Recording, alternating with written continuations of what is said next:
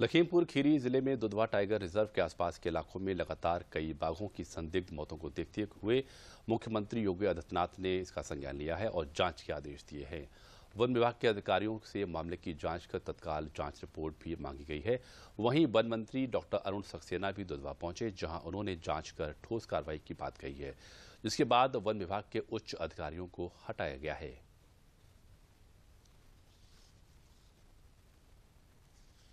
जो सब मिला उसकी पोस्टमार्टम हुआ है। उसकी रिपोर्ट अभी नहीं मिली है।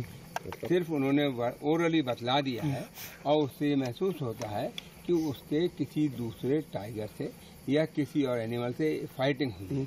और उसके हेड पे इंजरी थी। उसके अलावा उसके पैरों पे भी थोड़ी इंजरी की वजह से हिमोटोमा था और उसके पेट में कुछ नहीं था। उसके कीड़े बहुत पड़े हुए थे।